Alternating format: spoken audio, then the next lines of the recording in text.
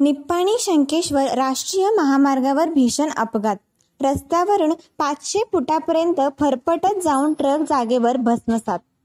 शनिवार दिनांक सत्तावीस फेब्रुवारी रोजी सकाळी अकराच्या दरम्यान निप्पाणी शंकेश्वर राष्ट्रीय महामार्गावरील मसोबा हिटणी कमानीच्या खालील बाजूस झालेल्या अपघातात लाखो रुपयांचे नुकसान झाले असून ट्रक आगीत भस्म झालेला सापडला. घटनास्थळावरून मिळालेली माहितीनुसार ट्रक नंबर पी बी शून्य पाच ए बी बावन्न नव्याण्णव हा ट्रक मुंबईवरून बेंगलोरला पत्राकोईल घेऊन जात होता.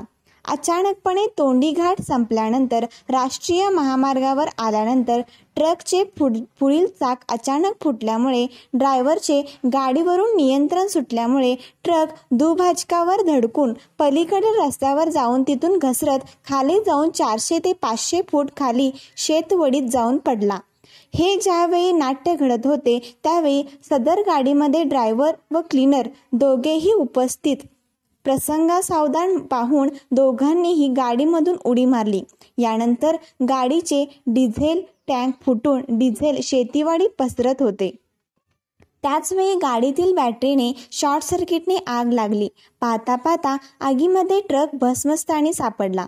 सुदैवाने कोणतीही जीवितहानी घडली नाही. अपघाताचे वृत्त समजताच लागलीच जय हिंद डेव्हलपर्सने ऋषी दड्डेकर व त्यांचे सहकारी यांनी अग्निशामक दलाला फोन करून शंकेश्वर व निप्पाणी येथील अग्निशामक दलाला पाचारण केले.